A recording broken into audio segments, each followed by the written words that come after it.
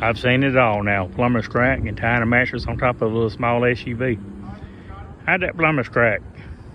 Or to seen him when he bent over, when he bent over a few minutes ago. That's what I'm talking about. Life without humor is like a pond with no fish.